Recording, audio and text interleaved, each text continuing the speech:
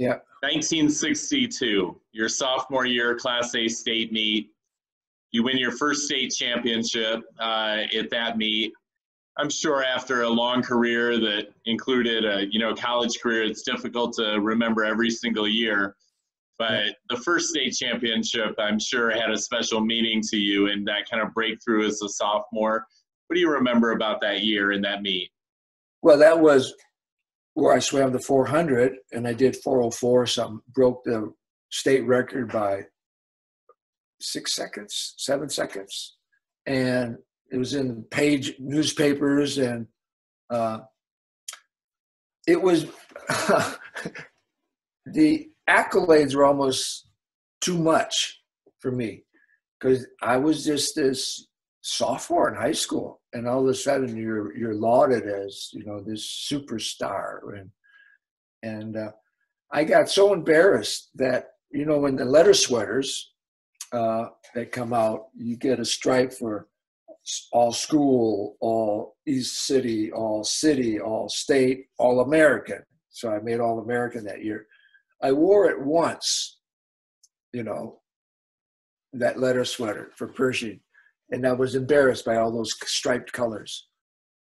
You know, it's just like it put me above everyone else, and, and being a kind of a socialist, you know, egalitarian person. Even back then, I just, I just, there's no way I could bring everyone up to me, so I just, I just never, I stopped wearing that letter sweater for that reason.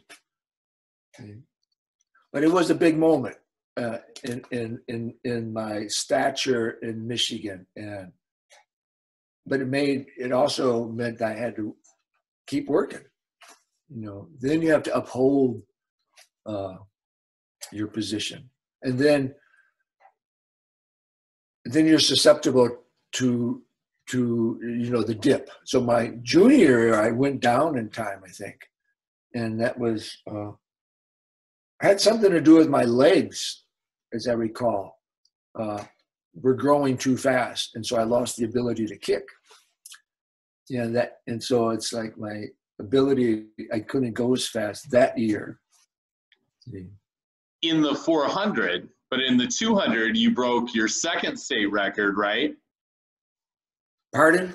I think in the two you your junior year you win your first state championship in the 200, and I think you did go faster, went under 153 for the first time, and I think broke uh, the state record. So you did go a little bit faster in the 200, and uh, that was the first time you doubled. You know, uh, that's your your maybe your the one of the highlights of your career, and that you won both championships there in '63. Yeah, but I guess I didn't feel as I was as good as I was in my sophomore year.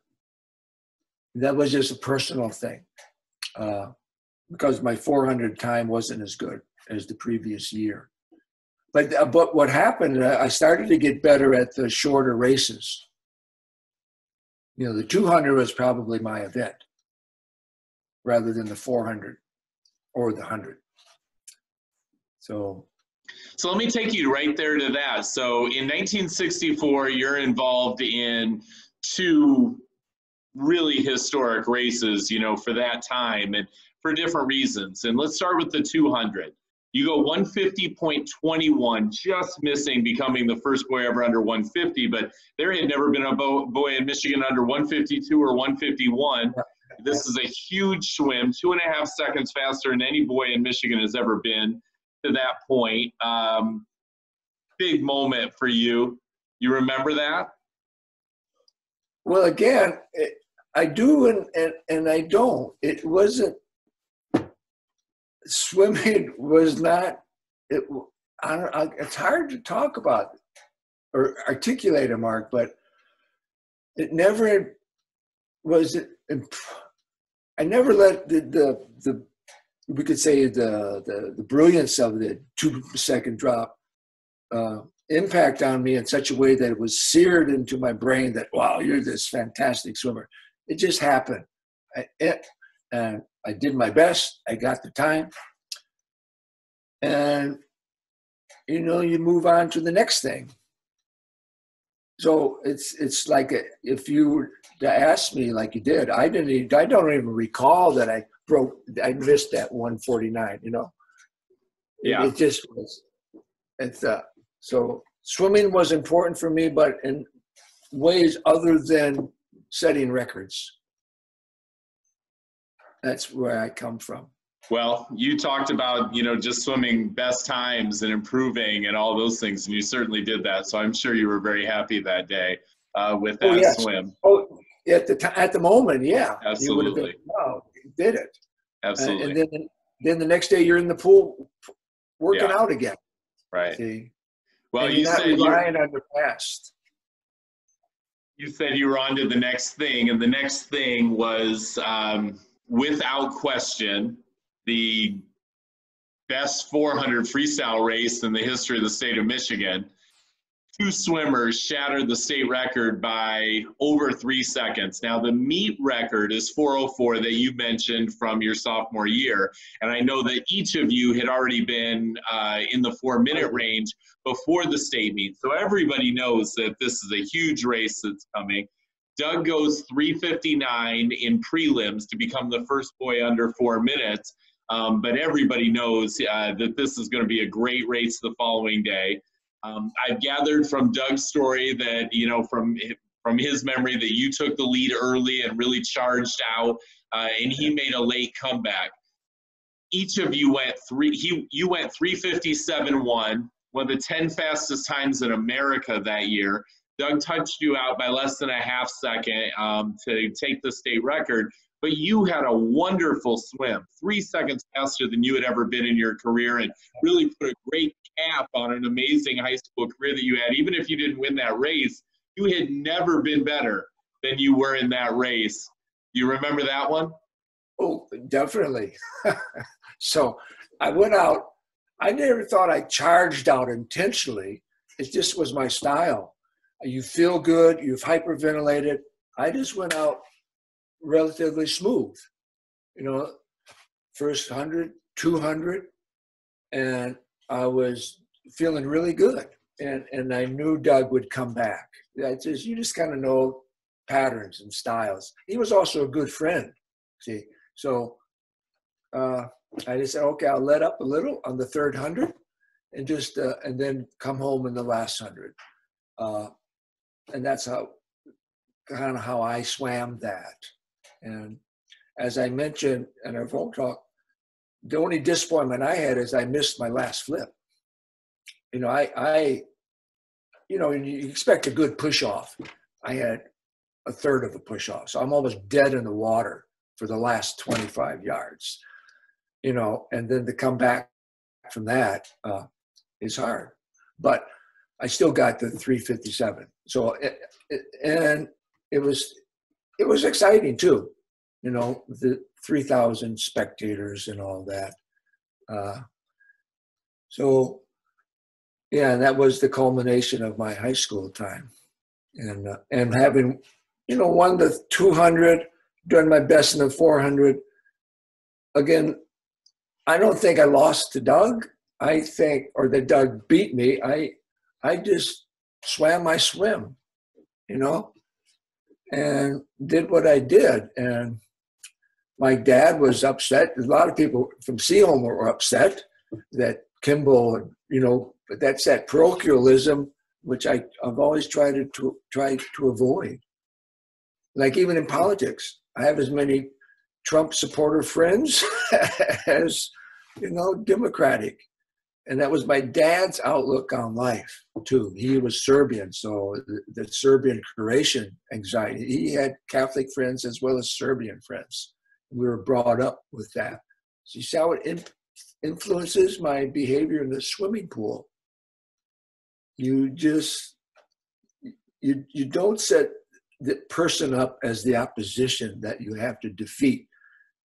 If anything, you you take them on as an ally to help you swim. So, in a sense, Douglas helped me achieve that 357.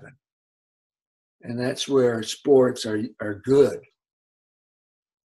So,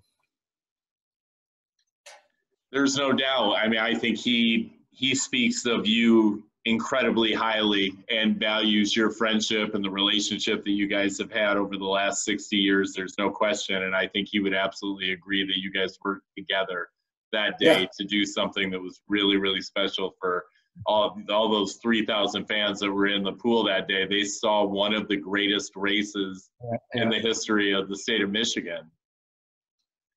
Yeah, yeah, it was. it- It's too. It's too bad that's that there still.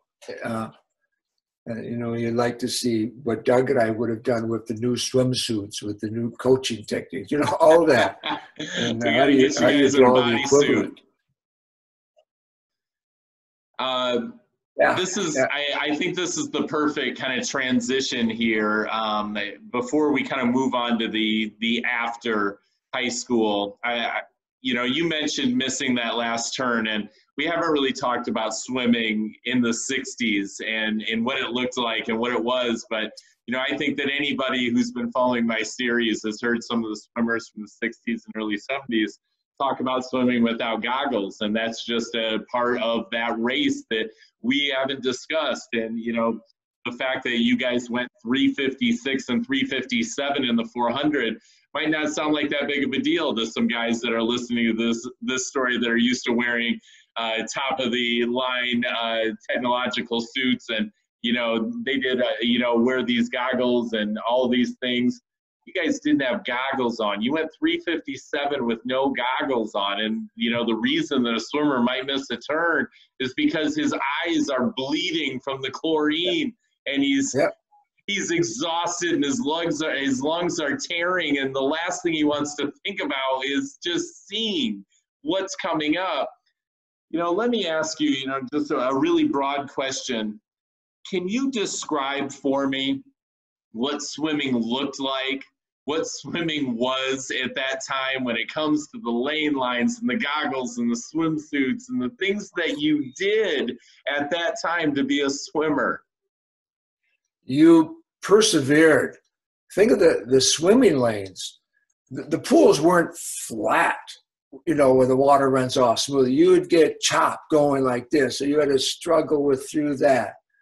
And that was just, it's like learning to swim in the North Sea. And so in a way it helps, I would imagine, if you had a chance to swim in a smooth pool. But the goggles were the big one you know, having to swim and then always put your head up like that. See, so by just doing that, your chest drops, and that it's like a barricade. Whereas if you knew the- goggles, you could see it differently. It, it, there were markings for sure, but some pools were better than others. But it was always a hassle. And yes, eyeballs were always red. I always had red eyes and smelled of chlorine.